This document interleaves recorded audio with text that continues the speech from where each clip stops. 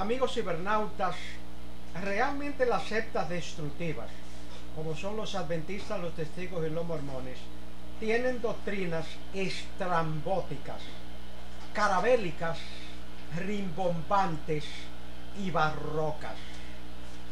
Una de esas doctrinas espantosas es la creencia de la puerta cerrada. ¿Qué quiere decir eso? Oh, según los adventistas, los creyentes de 1844 a 1850 no tenían acceso a la salvación.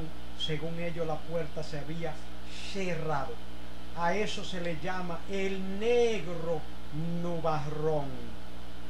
Es una doctrina maquiavélica, es una doctrina totalmente carente de lógica desde el punto de vista de la Biblia.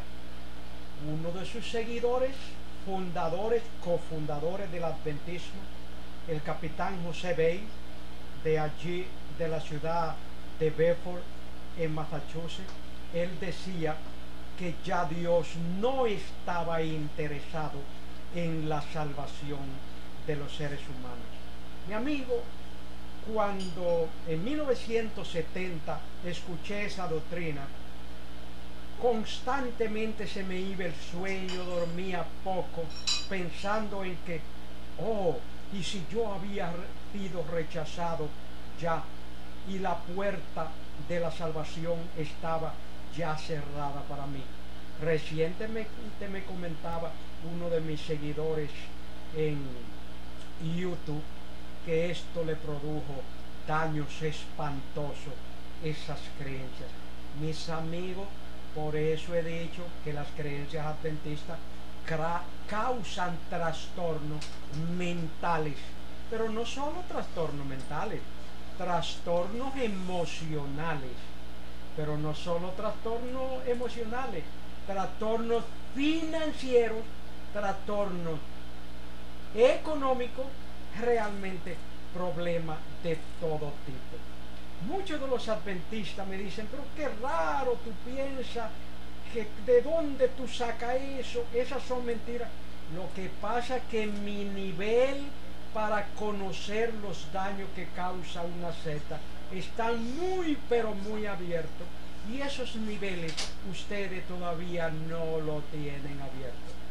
Despierten amigos adventistas. Las doctrinas de la iglesia adventista son doctrinas que causan trastornos mentales. Es por eso que he dicho varias veces que esos trastornos mentales me han llevado nueve veces a los centros psiquiátricos aquí en la ciudad de Nueva York. Amigos cibernautas, es necesario que trabajemos para que tengamos un mundo mejor. Diciéndole no a los testigos, diciéndole no a los mormones, diciéndole no a los adventistas del séptimo día.